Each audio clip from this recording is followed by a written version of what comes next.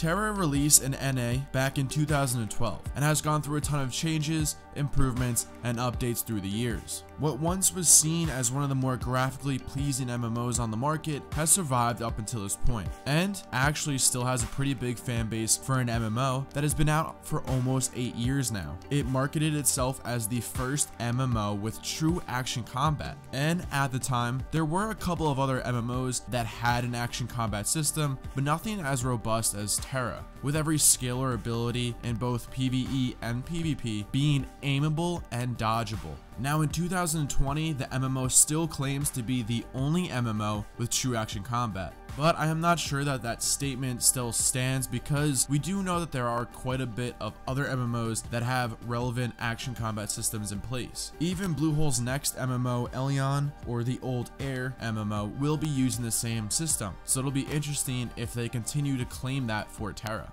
Well, the game has gone through tons of content updates through the years, the transition several years ago to go to free to play, as well as launching on Xbox and PlayStation in the past. We are going to show off as much as we can of TERA to highlight the good, the bad, and the changes for those who have never played the game before and for those who used to play the game and are maybe considering giving it another try. It has been quite some years myself since I have last played, and once I jumped in, I saw that they increased the level cap from 65 up to 70, so this is going to be interesting trying to see me adjust to learning everything again. I will show off some low level gameplay, some PvE, some PvP, and what the goals are at endgame, and then finish it off with my final thoughts about TERA in 2020.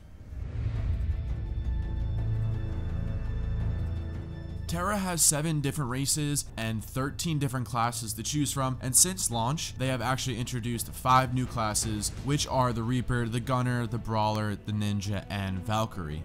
Every class is pretty unique, and they all fall under the tank, DPS, and healer triangle, where some of them can actually be spec towards support or tank and so on and so forth. For example, the warrior that I'm playing here can be a more dodge or evasion oriented tank, or it can also be a melee DPS role, depending on how you gem your gear and how you choose to upgrade your abilities. As you level up, you will get more skills and abilities, but also you will be able to level up certain ones more for a better spec character, depending on the role that you're looking to fit into. Certain abilities will be better to upgrade as their higher ranks will offer better stats, more damage, more healing, and etc. Now for those who have played the game before, but maybe it was years ago, the starting zone has changed and they have actually streamlined the starting quest a bit, which pretty much happens in every MMO after years of updating. Honestly, I never really followed the story in TERA to begin with, so I can't really tell you what the is going on, but let's be real, you're just gonna spam the F key to get through the quest anyway, so the quests are pretty standard when it comes to questing in MMOs with kill this, talk to this person, collect these, and protect this person as they go somewhere. But they aren't really too tough aside from some of the ones that you're going to need a group to finish, such as the dungeon quest or the BAM quest. For those who don't know what BAMs are, uh, well, it's short for badass monsters, or what is it,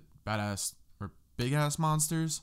I don't know, same these big monsters are sprinkled throughout the zones in TERA, and they can be soloed for EXP and gear. If you are someone who doesn't like to group up with people, you can still solo those. But you'll probably need a group for the dungeons, because those are quite tough with the amount of mobs and how hard they actually do hit someone. Now, something else that they added in a couple of years ago are these weapons that you can get as you level that will upgrade as you level. Uh, so I believe it's like every 10 levels, they'll give you a new one so that they have helped streamline the questing process even more to cut down the time it takes for players to kill, which in result will cut down the questing grind. TERA has standard questing, but if you're someone who enjoys action combat, then you might be able to overlook the questing in order to get to the end game. One thing that did make me enjoy the combat even more since the last time I played was the introduction to the awakening abilities. This is something that other games have implemented, so if you have played, let's say, Black Desert before, you may be familiar with it. They give the class extra abilities on usually longer cooldowns that will do more damage or more healing or be able to mitigate more damage depending on the role that you are playing. It is a way to spice up the combat and introduce something new than the same skills that players have been using over the years. Some of you may be wondering, well, if TERA has good combat, how is their PvP?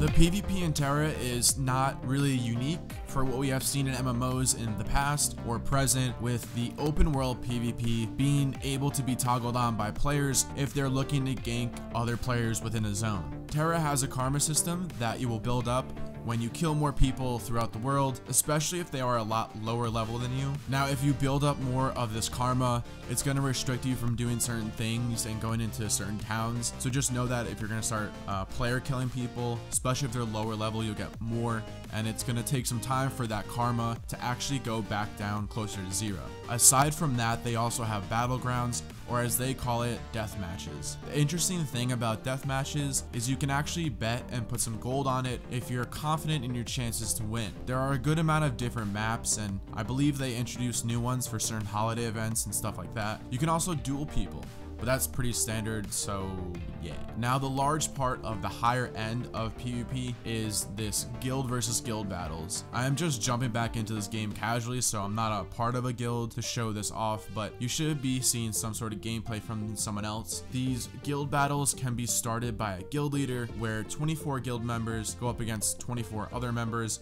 of another guild throughout the world, so similar to how the open world PvP goes, you still have to be on high alert. The guild battles go on for 24 hours, and each kill gives you points, and after either the 24 hours are up or one guild forfeits, the winner is seen as the better guild.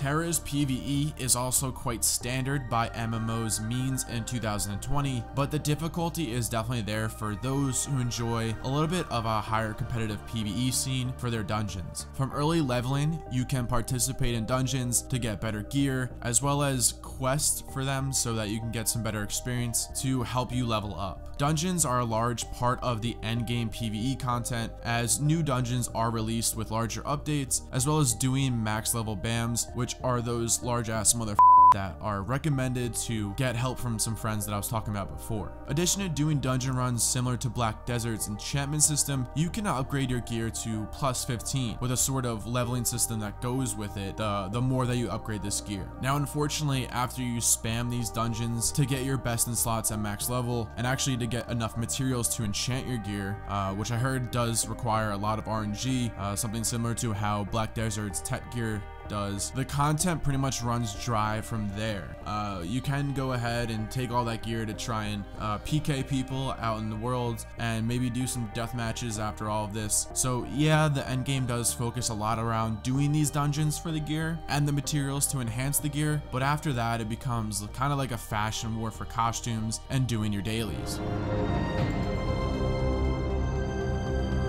TERA has come quite a long way since its release in North America. What once was a young MMO with beautiful graphics is now a veteran with some slightly dated graphics, but still one of the best combat systems in an MMO to date, if I had to say so myself. The questing might put off a lot of new players especially when you're getting closer to max level like the late 50s and most of the 60s because it's very repetitive with talking to one person, then teleporting, then talk to another person, then teleport, and so on and so forth. The endgame is focused more on PvE, so if you are someone who enjoys doing dungeons, this would be a better fit for you than if you're looking to do a lot of like open world PvP, battlegrounds, and guild battles, uh, because there is a small focus on PvP and they don't have the specific things like small arenas arenas and stuff like that. TERA has stayed relevant through all the years since it has released, especially for a now free-to-play MMO that comparatively to the others, I think it should be considered as one of the better ones. I would suggest TERA to people